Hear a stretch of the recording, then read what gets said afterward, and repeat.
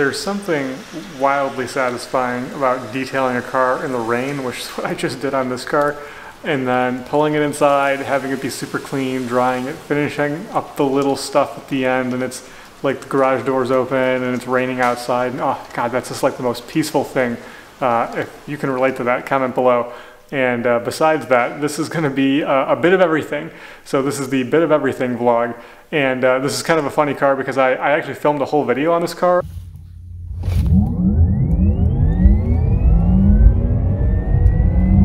And then those 10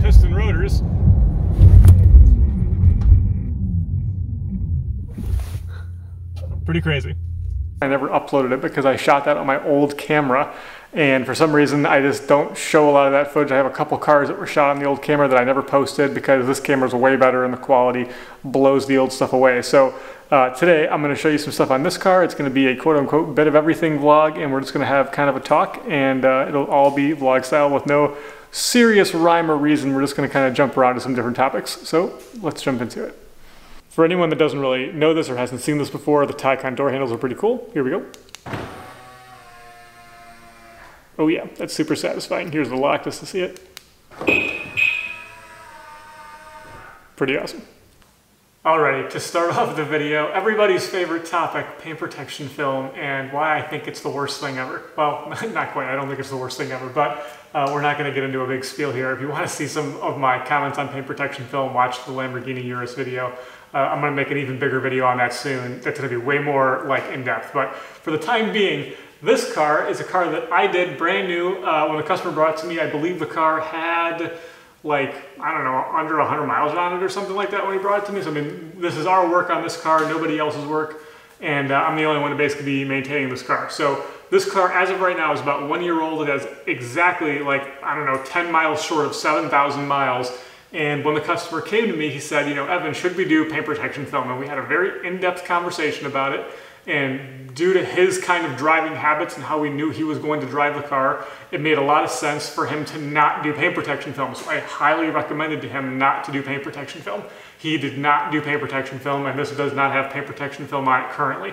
I'm gonna show you the front bumper of this car and some of you might be shocked, some of you might not be shocked, but let me walk you around it real quick. 7,000 miles on a daily driver car is kind of a lot. Um, you know, 12,000 would be, or 10,000 would be about average, so he's a little under that but as you can see, there is one little baby tiny rock chip in the front of this car in the bumper that's low visibility down here that no one will ever see. And if I do the touch-up on it, because he's got to bring me a touch-up bottle and I can do the touch-up paint on it, especially on this chalk color, it's going to blend in really good. And from like, even like two feet away or a foot and a half away in Cars and Coffee, you will not see that spot on the car. So we saved him about $2,500 of a full front end PPF that as of right now, he has one baby chip in it that I can fill in and will be literally in, like un, unrecognizable. You will not be able to see it in the front of the car. Um, you know, so like he saved a lot of money not doing this. And if he keeps going, owns this car another two or three years, I think he'll only own this car another year or two, to be honest, based on our previous conversation. So maximum, what does he get? Two, three more chips like that, and we fill them in versus having $2,600 of film and still potentially have that, or and let's just say let's just say that the film stopped it and he was good. He didn't have any chips. Was that $26, $2,500 film still worth one chip stop? I mean, to me, it's not, not even close. This thing looks amazing. It has no extra orange peel from PPF. You know, we would have wrapped all the edges and stuff, but like in the in the front here like this, you can't wrap edges like that. So there'd be a tiny baby edge in some of those spots. And we do a really good job wrapping stuff but guys, this is like the pinnacle. This is it. This is a perfect car. It still looks brand new. It's got ceramic on it. The ceramic is in perfect health and condition. I mean, there is there is nothing better than a car with no PPF on it, in my opinion, when these are the kinds of situations and driving you're doing where he can get away with it because he's not doing crazy track days and he's not doing, you know, 12,000 miles a year in highway. Um, those are conversations where it gets a little different. But because he's not doing those things, this car looks really great and it just kind of supports my, my argument of what does the car look like with PPF after one year? It looks like this. It looks amazing. All right, the next topic is much less controversial than the, I can't even say it. The next topic is much less controversial than the first topic, and that was like my third take of that because I kind of laughed too hard the first time I did it. Uh, paint protection film just gets me going. My, my longtime followers know this already. So the, the main reason this car was here uh, is kind of a two-part thing. So unfortunately, this car was rear-ended, uh, not real bad, but just a tiny fender bender, um, where someone, you know, hit them at a stop sign, or I think it might have been on the highway or whatever, it doesn't matter. The point is, that's super frustrating. You know, your car was all dialed in, it was perfect, it was nice ceramic coating, it was paint corrected, it was good to go, man.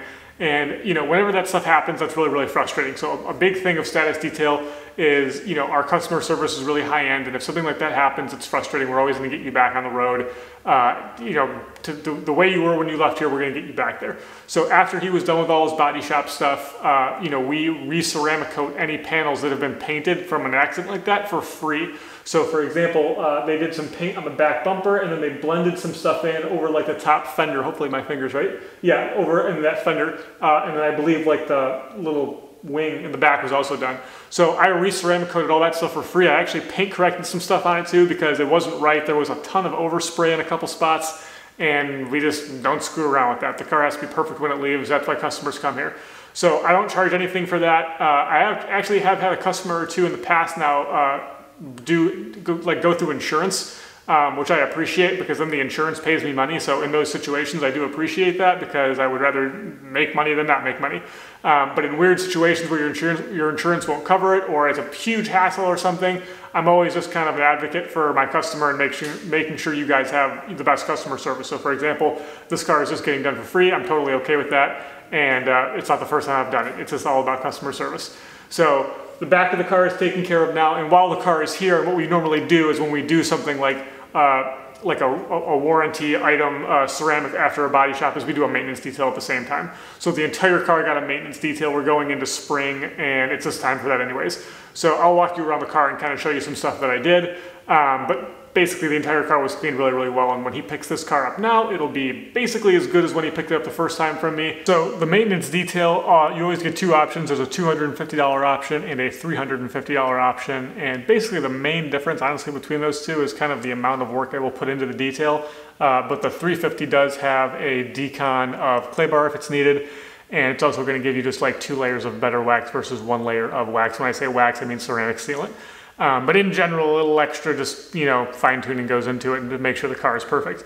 The entire car is washed with uh, basically Gyeon Foam or CarPro Lift, which is a little more of a heavy lifting soap to really get the grime and stuff out. Uh, you know, some people think that CarPro Lift or Gyeon Foam is just like for cleaning what you can see, like, oh, it cleans the hood better and it cleans the back better because it's a heavier lifting thing.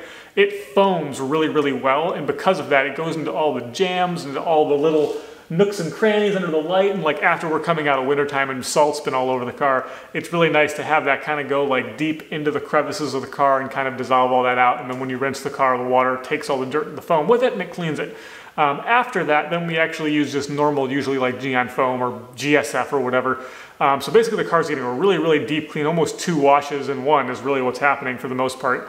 Um, after we're done with that, we usually throw, if you're doing a 350 package, which is what's going on with this car, you're gonna get hydro or wet coat on the entire car. Basically, that's gonna go on the, on the wheels, on the barrels, on the paint, on the glass. Um, again, same thing of why I like that is it kind of, when it rinses through the door jams, it coats it because everything wet coat touches or, or, hydro touches, it goes into those things. Um, and then you usually typically get a little bit of cure on top of that afterwards when the car is in here and it's all clean and dry. Um, then you have lots of options because we do bespoke detailing. So then on top of that, um, you can actually add Q2 wax, which will add a little more gloss, which I'm actually probably going to have a, a, chat with the customer about because we haven't, um, and, at this stage in the video, I haven't uh, actually mentioned this to him, but when he was here, he was like, is there anything we can do for more gloss? And Q2 wax is one of those things. Um, what's really common is we do EXO, which is the, the, the dual layer, the topper and the, and the ceramic coating hierarchy. Um, a lot of people add that back on, which is usually, you know, 300 bucks or something like that, which can get you to 650 for a maintenance detail. If you do the 250 and then you add that, you're uh, 550, because then you kind of uh, forego like the, the, other two waxes, you just do EXO. Um, so there's, the point is, there's a lot of options you can do just on the outside. So because on this car I ended up doing the back half here in ceramic because we had to do that for warranty when there was a little bit of you know extra there's a little extra material, a little extra ceramic in the applicator when I'm done. I actually put that on the windshield for free just because why not, rather not throw it out. Uh, and then we did a lot of interior cleaning. Unfortunately, at some point, the interior, I don't have before shots of this, but uh, at some point the interior was had some armor all on it from the car wash that he goes to. Um, so we've made a very important note. Don't, don't let them do that anymore because it's a pain in the butt to remove that stuff. Uh, but we cleaned all that off the inside as part of the maintenance detail. The inside just got an interior cleaning. Uh, the leather steering wheel and the driver's seat and the passenger seat were cleaned really well. The back seat were in better condition, so those got more of just a wipe down. Um, and then in general, I think that kind of wrapped it up for the inside. I'm trying to think. So the other really big deal um, for something like this is everything gets opened up, all the doors, all the trunks, all the front, the back, everything, and everything is cleaned really well in terms of like the jams and stuff. And uh, I'm going to show you on that B-roll like the rubber uh, seals all the way around. All that stuff gets cleaned really well, especially the ones that are like, they're almost like gutters because those can hold so much dirt and so much like uh, sand and so much uh, salt and stuff from wintertime. So all of that stuff is cleaned out really, really well. And then the good detailers, obviously, that you know, we clean this stuff, but then the really good ones get back here. Oh yeah, they get in and they clean your flaps. How many detailers are cleaning your flaps, huh? Not very many. So all this stuff is super clean. It's hard to tell down here, but this goes up, see, like a, like a quarter inch to a half inch. So all that's been cleaned, and you can see my finger is totally clean. And same thing back here, guys. Like everything underneath here, you can see my finger goes up. So it goes, this is a little like gutter. Totally clean, right? So this was cleaned, and I don't know what happened to the rag, but when I cleaned this stuff earlier, like jet black dirt came out of it, and I almost trashed a whole tile just doing one door. Um, and I did that to all the doors. So all, all of this stuff, um, all these all these jams, right? You can slide your hand behind this whole thing. All of these jams were cleaned driver side. Like there's a little a little jam here. Hopefully you guys can see this. And the door jam, right? All that stuff is clean. And then again, same thing down here, right?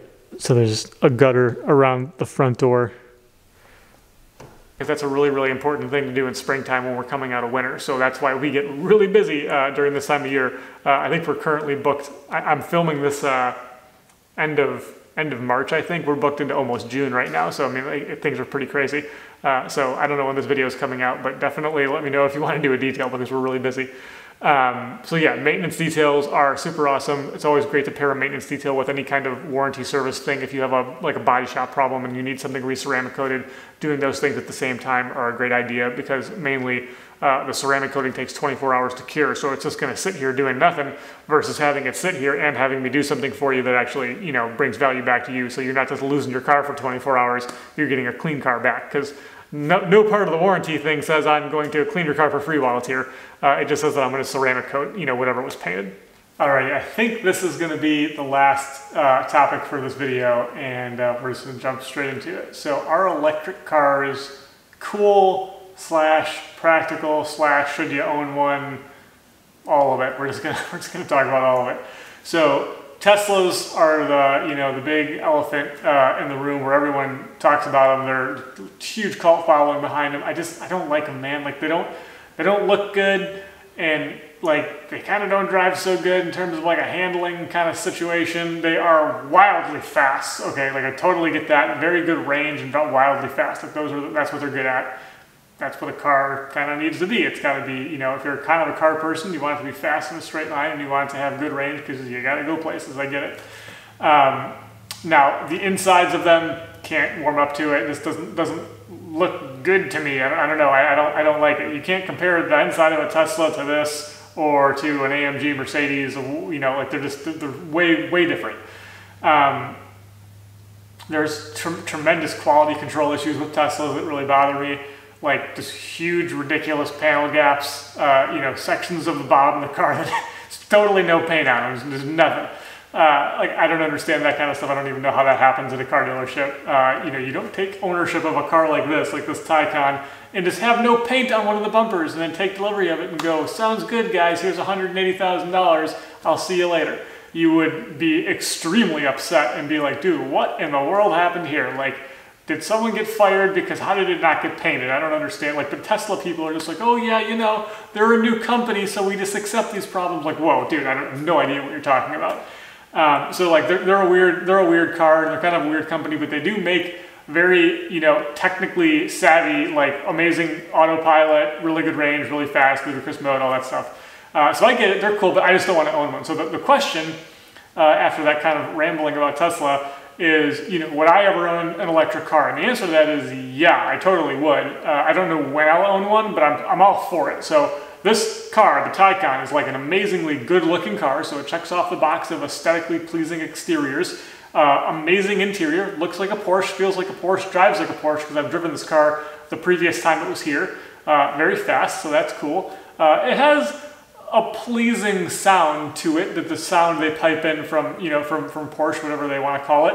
Uh, I miss my gas engine noises, and I will always own a gas engine car while still having an electric car because I need that in my life. Um, but you know, this this checks all the boxes of what a quote unquote car person's car should be. So that's a good that, that's a good start because Tesla doesn't check all the boxes. It's not even close. Um, this car doesn't have any quality control issues. Everything's fit, finished. Everything feels really good. Uh, all the interior bits are proper. They, they look like they're supposed to look. That's really important to me. I think that's really important to a lot of people. Um, they're just too much money, and I won't, I won't pay $180,000 for an electric car. I'll pay $180,000 for a GT3 RS or a GT3 or whatever, uh, you know, but not, but not for an electric car. I'm just not financially there yet, and even if I was, I'd have a hard time spending that much money for something that's electric, because all electric cars, from a speed standpoint, kind of the same thing. So it feels weird to buy an electric car that's that much money when I could buy a gas car that's like really special that kind of fits into that price point. So ultimately, uh, just my like idea behind an electric cars, I'm all for owning a car like this if I can get it for like $90,000. If I can get like a 30,000 mile one of these for $90,000 in like five years, I'll, I'll, probably be all over that to drive my daughter to school, pick her up from school, go to the grocery store, take little 30 mile trips. I know the biggest uh, downside on these is they don't have great range. I don't really care. I'm not going to drive my electric car very far uh, I will have a gas powered car for that. Like I'll have an RS6 wagon to drive from here to Wisconsin if I want to do that. I'm not going to take the Taycan. The Taycan's going to be for going to the grocery store, picking up my daughter, taking little 30 minute drives for fun on the electric car. I'm all for that stuff. And then come home, plug it in. That's it's brilliant. It's great. Um, I'm, all, I'm all for electric cars in that sense. I would never buy an electric car to have just an electric car. That's crazy. I think a lot of really die-hard car enthusiasts are the same way. Um, and that's why I said in the beginning of this little section or chapter or whatever you want to call it, uh, I want to hear what you think. Am I onto something here or is, is, this how you view electric cars? If you're a car person, uh, you know, if you've got your G80 or your whatever your, your, your daily driver gas powered car is, you know, would you want a Taycan to drive around this like town and stuff? Or is it just ridiculous and you can't get on board? Uh, I'm obviously a huge Audi fan. I think some of you know. I think the e-tron GT is just a fantastic looking car. Uh, the e-tron GT and this, you know, Taycan are pretty similar. I don't know what I would buy between the two, to be honest. I, I really like both. Uh, in a perfect world where I had a lot of money and I had a collection, I'd probably just have both. Um, but yeah, comment below. Would you have a Taycan, a Tesla, an e-tron GT, uh, a Lucid Air, another cool one? Um, what would you drive? What would you have? And you know, if you want to go crazy, just tell me your whole garage. What, you know, if you had four cars or something, what, would you have? Would you have a supercar, an electric car, and two daily drivers? I don't know. Whatever. Comment below. Tell me what you drive. And uh, I think I think that's going to wrap up this video, guys. So thanks so much for watching. Be sure to comment and like the video uh, if you liked it. Uh, we drop videos every Sunday. I'm trying to make a point of saying that in the videos now, just in case people don't realize that. Every single Sunday, I release a video. Uh, and then as I'm making more content during the week, I might drop random videos every once in a while on like a Wednesday. Um, that's going to be random. Every Sunday, there will be a video. Uh, so we'll see you guys in the next video, and I hope you guys enjoyed this one.